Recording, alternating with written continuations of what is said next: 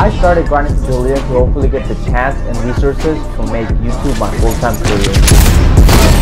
What do you like about Delirium? I like how everyone in the team helps and supports each other grow.